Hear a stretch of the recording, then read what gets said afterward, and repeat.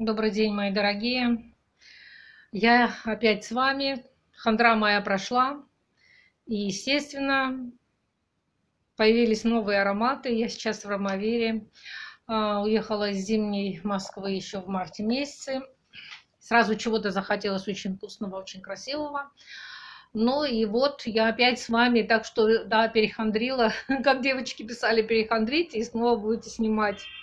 Куда же от этого деться, раз мы такие вот парфуманьяки. Ну, не будем э, долго говорить, время дорого, интернет дорогой, поэтому сразу приступим к делу. Я вам покажу свои ароматики, которые у меня здесь появились. Ну и, как всегда, естественно, расскажу о своем э, восприятии их. Вот смотрите, такой интересный аромат. А у меня появился, эм, я увидела его на одном из сайтов, девушка продавала такой вот остаточек, а, который называется Кинзо от Кинзо. Ну, вот так история покупки этого аромата такова, что я, будучи еще в Москве, в марте месяце, а, зашла в Рив Гош, и мне очень понравился Сесамбо. А вот тот аромат, который э, чем-то напоминает э, в начале Эдем. Жидкость там более такая светлая, и вот зелененькие листики, э, если помните, на коробочке нарисованы. Здесь еще аромат Лемонт, точно в таком же красивом флакончике, действительно произведение искусства. Но тот уходит в такую грейпфруктовость, а, свежачок такой. Но вот Сесамбон раскрылся на мне шикарно. Я просто в него влюбилась. А, сначала вот он напомнил мне Эдем, а потом он ушел э, в такие нотки, которые присутствуют вот а, в слоненке. Я его обожаю носить летом в такую термоядерную жару. Он просто гасит эту жару. Такое ощущение, что я где-то в Индии. Ну и когда девушка прислала мне, Людмила из Ставрополя, вот этот аромат, а, она говорит, ну коробочки у меня не было, ну, видимо, по описаниям просто то, что это такой вот цветочек. Она ее, его выставила как сесамбо, на самом деле оказался э, кензо. Путаница эта произошла еще давно, если почитаете на франгратике, там описана история этих флакончиков, и поэтому вот получилось. Но для меня это было неожиданно, и я очень рада, что этот аромат появился у меня. Он очень красивый, очень... Э, это вот пример настоящего французского парфюма. Раскрытие идет очень долгое, очень шлейфовый он э, в жару, э, конечно, раскрывается намного лучше и уходит. А, вот я начала его, когда она мне прислала, еще как-то было холодновато. Ну как холодновато, до 20, где-то было, наверное, как-то так вот пошли такой эм, а, какой-то этот самый, эм, как это называется, циклон в Армавире, что было холодно, где-то 8-9 градусов. А, он немного начал замыливаться. А потом, когда уже температура где-то после 20, сейчас, конечно, очень жарко, все цветет, под окном у меня он благоухает э, деревья каштан, впереди парк. Все это, конечно, вызывает ужасную аллергию у меня, пью таблетки, но от парфюма не отказываюсь, как же так. Но это все проходит, где-то уже к середине мая, у меня обычно это до середины мая, потом все уходит. Он этот аромат бесподобен. Вот я вчера была в нем, он требует, конечно, очень простора, воздуха, а, шлейф от него, э, нет вот этой мылкости. Ну, в общем, аромат шикарный. А, что тут у нас появилось еще? Еще появился вот такой вот красавчик. Я вам сразу покажу коробочку, чтобы было ясно. Это Исей Мияки. Сцент немножечко у меня что-то с освещением здесь не очень. Ну, я надеюсь, что вы увидите. Вот такой вот миничка 7 миллилитров. Очень красивый аромат. Мы с Наташей забежали в магазин, что-то мы быстро-быстро самое ехали. И нужно было что-то решить очень быстро, некогда было. Вот, знаете, как обычно подходишь к парфюму, там рассматриваешь его. А тут я его на руку нанесла, выхожу на улицу, ну, боже, какая красота, что это, что это, что напоминает. Ну и как вы думаете, что напоминает? Напоминает он мне вот этот мой красавец Кристалл от Шанель. Вот уже немножечко осталось, но поскольку флакончик уже, можно сказать, винтажный, этот аромат где-то ему лет 15, Сейчас мне доченька Нина предлагает э, целых 100 милликов кристалл и 19-ю Шанель. Я говорю, немного попозже. Э, потому что этот аромат, он у меня всегда в коллекции, я его очень люблю. Он мне спасает от головной боли, потому что когда у меня болит голова, там какой-то компонент, который вот расширяет, я так понимаю, сосуды.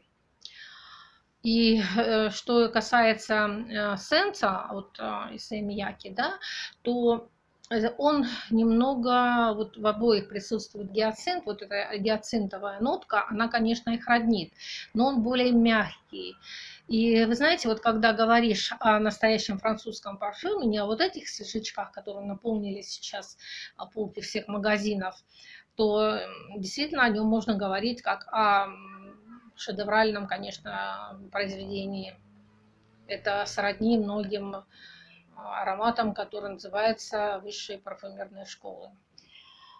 А что здесь у меня еще? Да, и в этом же магазинчике я нашла вот такую вот миничку. Ну, причем а, это вот такой вот с пульверизатором. Это любимый аромат Танюшки моей любимицы из Италии. Танечка Бонасера Миокаро.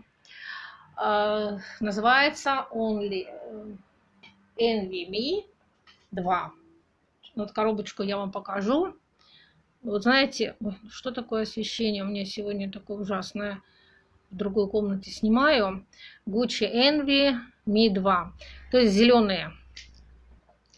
Envy зеленый. Ой, бедный флакончик.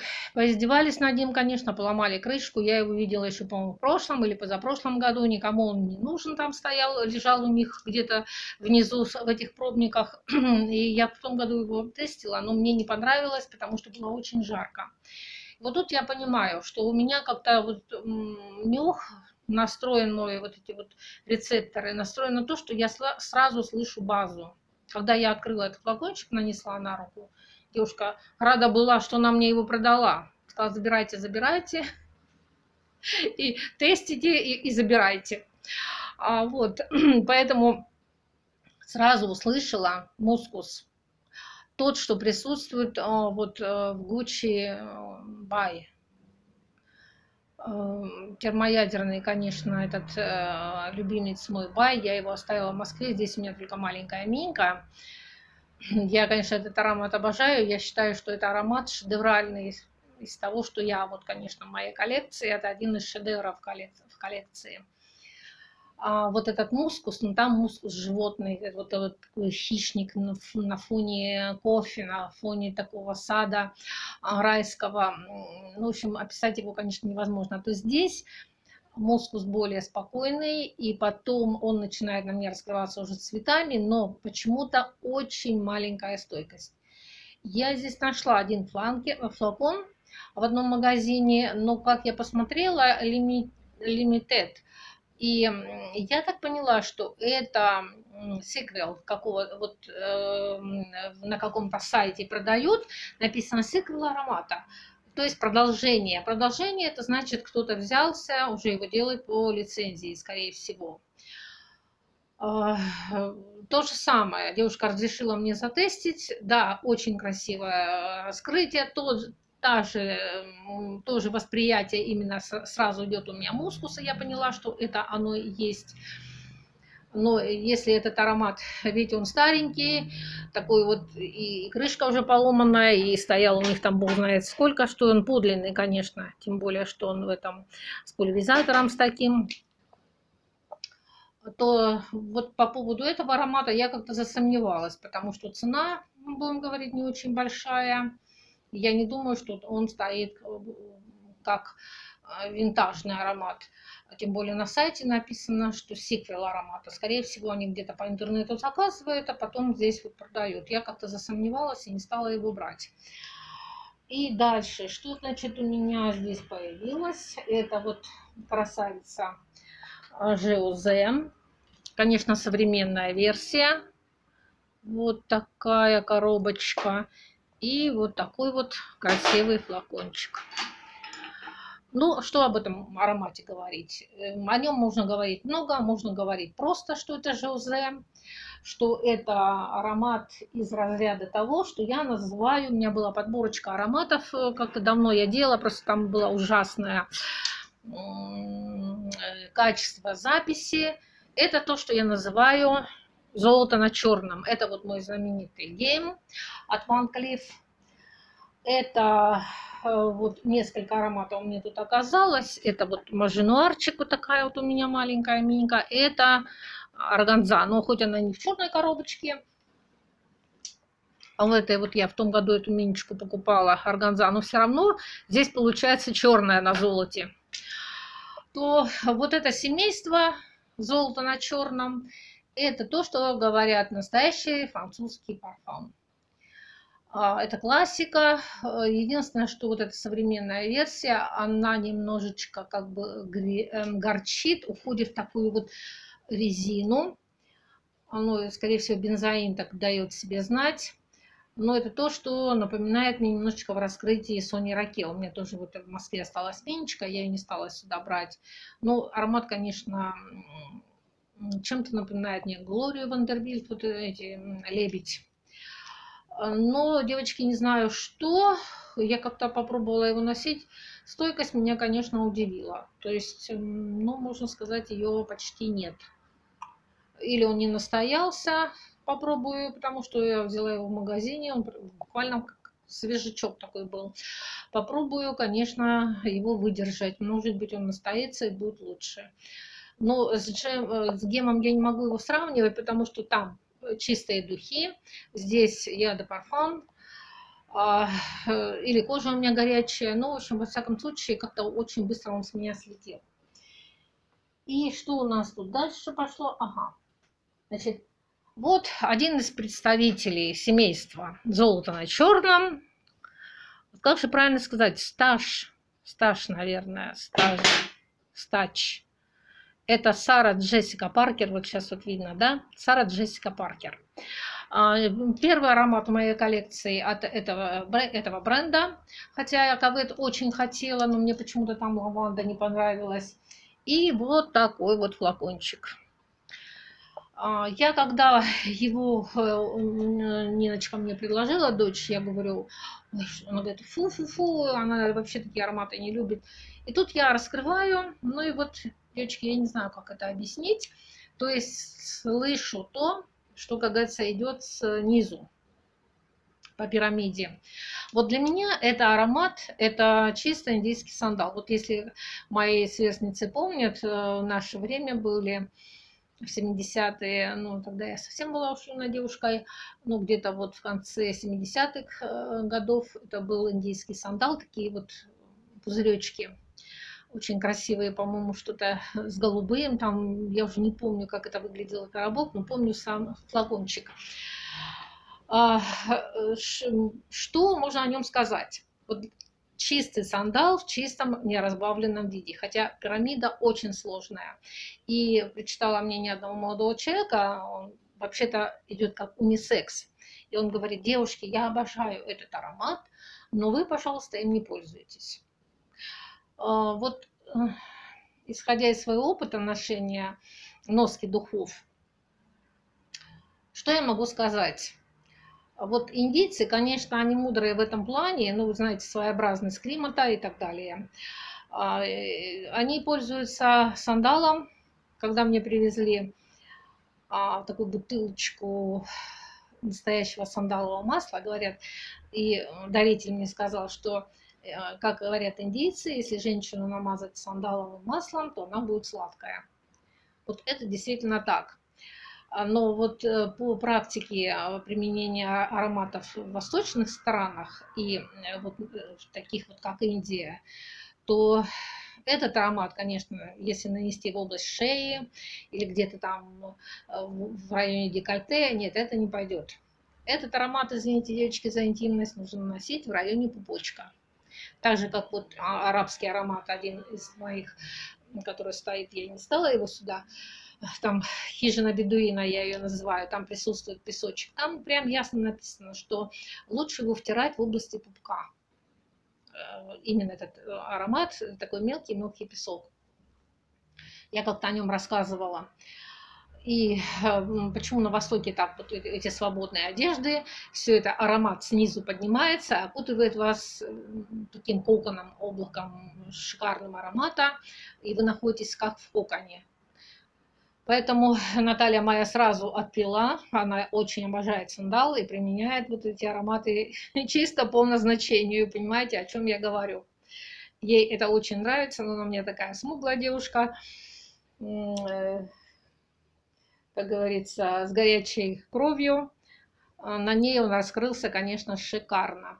Ну, буду держать так иногда, может быть, э, где-то под как это говорят, под коленкой помажу, хотя я уже пробовала наносить, и мне очень он понравился. Резкость вот этого начала уходит, и действительно появляется область стойкость неимоверная. Попадая на вещи, он пахнет до стирки. Вот вчера я, э, нет, позавчера я была в сарафане, и сарафан уже в стирке, потому что он не выветривается. И что у нас тут еще осталось? Да, я вам просто расскажу про один аромат. Он появился меня еще в том году. Мне сестра его передарила, остаток аромата.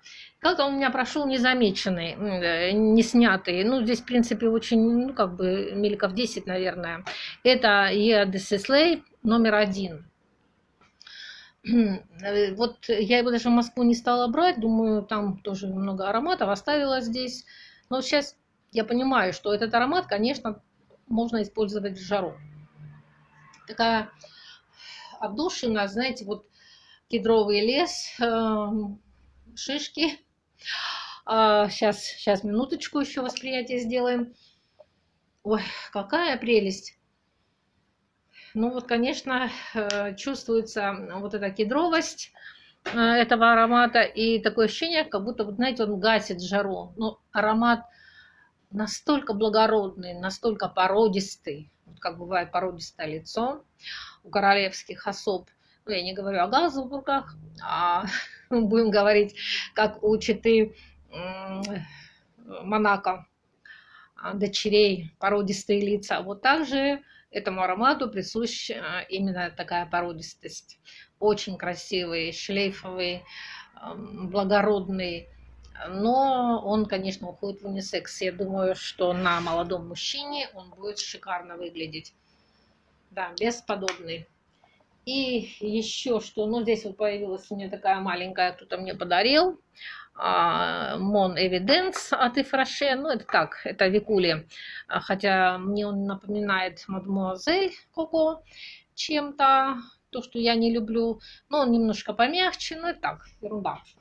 И, девочки, вот этот вот последний флакончик, мы с Викулей его просто схватили. Схватили и убежали. Это метеориты от Герлен. И, честно говоря, меня этот аромат очень удивил. Ну, вы знаете, палитра красок в ароматах Герлен очень разнообразна. Это, можно сказать, шикарно. А, старейший из домов парфюмерных Европы. Ну вот э, э, есть у меня э, лимон Верде, по-моему, ну как колония. А, много там чего в Москве осталось. Мажестик. Потом что там мне еще Монгерлен. Ну, это вот то, что зимние ароматы пудровые. А здесь я как-то мимо него прошла, даже не стала зимой, потому что получается, что я зимой в Москве, и вот эти ароматы летние, они проходят мимо меня. А здесь в такую жару в Армавире мы с Викулей нанесли его. Боже, какая красота! Это вот, знаете, эм, э, легкое, такой, такой цветущий какой-то яблоневый сад. И где-то такой запах яблочка еще он присутствует.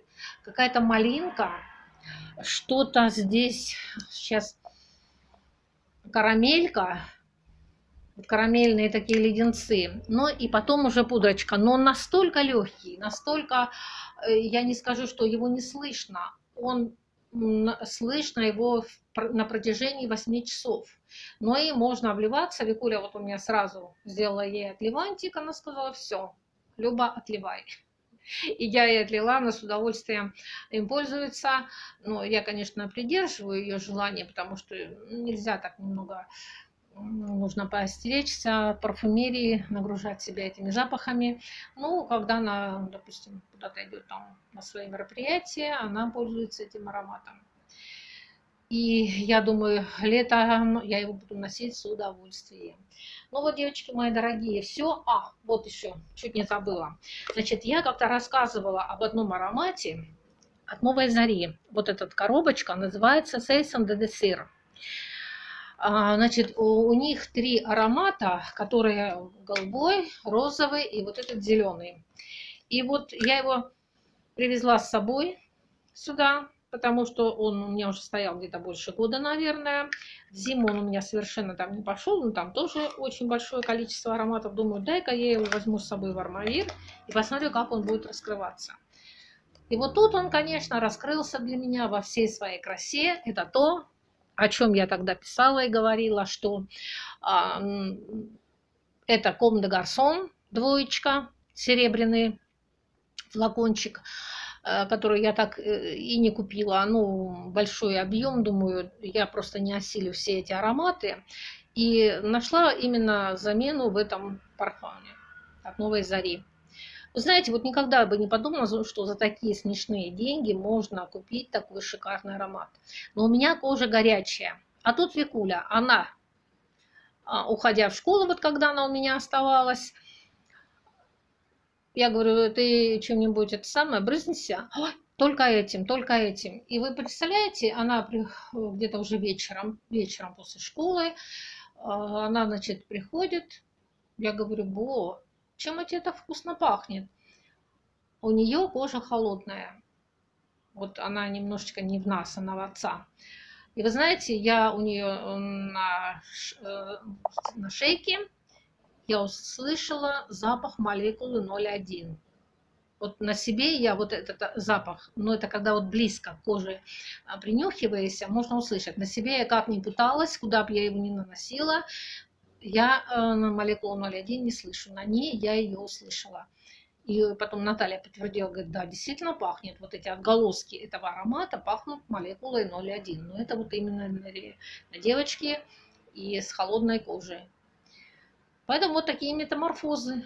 Может быть, кому-то, э, кто не имеет возможности купить Ком де Гарсон, конечно, он не из дешевых ароматов, или напоминают еще вот что-то от Гермес, по-моему, Мервелис, э, напоминает какие-то эти, эти Мервелисы.